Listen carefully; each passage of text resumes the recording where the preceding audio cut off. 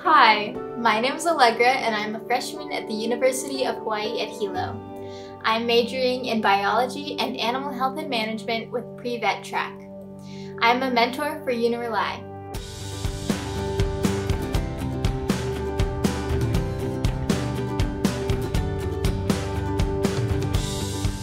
One of my favorite things about the University of Hawaii at Hilo is the beautiful campus. No matter where you go, there's greenery and chickens and cats wandering around too. It's also really great that we have our own farm and equestrian center off campus.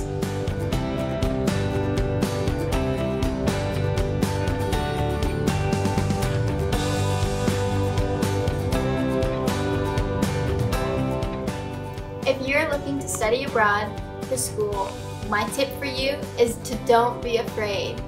No matter where you go, there's going to be countless opportunities and you're going to have amazing experiences.